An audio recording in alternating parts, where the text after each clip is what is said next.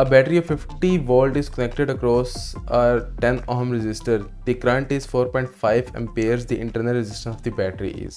तो हमारे पास EMF का, हमसे इंटरनल रेजिस्टेंस पूछ रहा है, यानी कि ऑफ़ द बैटरी हमारे पास ईएम का ईएमएफ का रिलेशन क्या होता है E is equals to I R plus I R ठीक है ये हमारे पास internal resistance of the battery है और ये हमारे पास एक्सटर्नल रेजिस्टेंस है तो हमारे पास क्या क्या चीज़ें हमारे पास ई एम एफ़ भी है बैटरी की, ठीक है? वो कितनी है? हमारे पास करंट भी है, हमारे पास एक्सटर्नल रेजिस्टेंस भी है और हमारे पास करंट, ये वाला करंट भी हमने, ये निकालना है।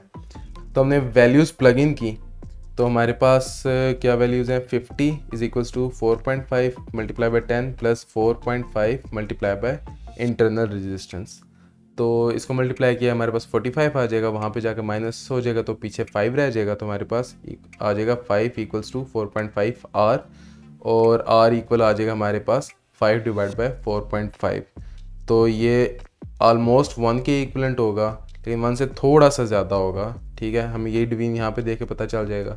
तो यहाँ पे हमें बीटा में बीटा ही वाहिद है कि जो कि वन के करीब है, बाकी वन से काफ़ी ज़्यादा दूर है।